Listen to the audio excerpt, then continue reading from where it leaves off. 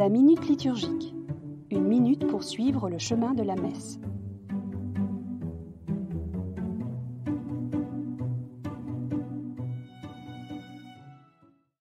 Peuple envoyé. Quatrième et dernier temps de notre Eucharistie.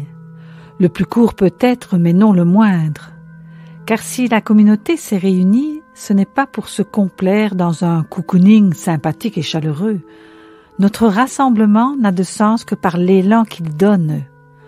On se souvient des disciples qui ont croisé le Christ sur la route d'Emmaüs et ont partagé avec lui le repas de l'auberge. Le cœur tout joyeux, ils n'ont de cesse que de se remettre en chemin pour partager leur expérience bouleversante.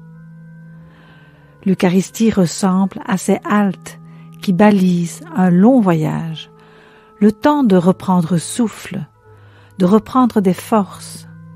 Un beau texte contemporain fait dire à Dieu Il faut lever la séance, gens de mon peuple.